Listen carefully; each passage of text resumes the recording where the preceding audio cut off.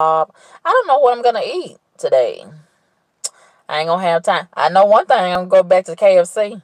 I ain't gonna go back. Up. Don't you know that heathen bitch with the tongue ring in the mouth? Tongue ring of trash, trash, trash. Woo! Gonna call herself banning me from KFC, telling me I can't come back up there. Cause I complained about the fries not being hot. I got a right to complain. As a paying customer, you can't give me what you want me to have. And then we gotta have this debate about the fries is hot or not hot. I know hot from cold. Huh, trying to treat me like I'm a fucking hood rat. And I don't have common sense. Bitch, I want to tell her, bitch, I learned the difference between hot and cold when I was a toddler, okay? A toddler. and she want to make me believe uh, the fries is hot.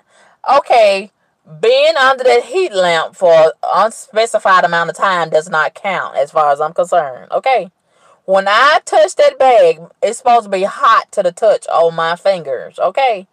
Like it usually is during the day. And see that evening time shift and that nighttime shift, they some lazy motherfuckers. And I had told the manager that, and she agreed with me. And she told me she gonna straighten everything out. Okay, it must have got crooked after after we hung up the telephone because they done got crooked again. They not straight now. And oh, I'm so tired of reporting these motherfuckers. I'm so tired of it because they're not getting no better. They're getting worse. Whew. So what I'm gonna have to do is just go on strike and stop frequenting and patronizing all of these restaurants because they are occupied by trash. They are hiring trash on purpose. They they know these people are trash when they hire them, and the service is just trash. It is.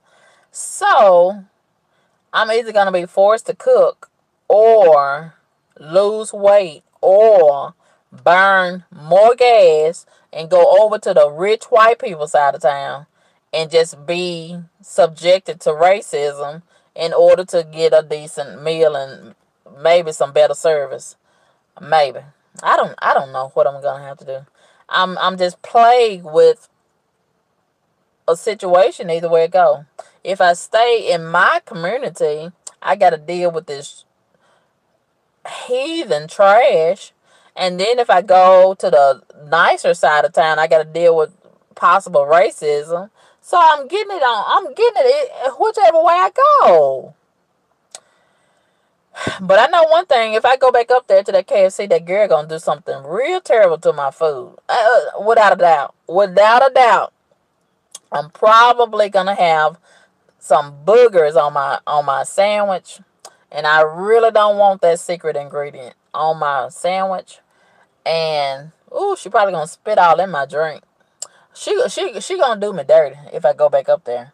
So I'm not gonna go back up there, but I will let them know what type of trash they have as an employee, as if they don't already know and they probably probably don't care about me telling them, but I'm gonna tell them anyway, and let that be that. Okay.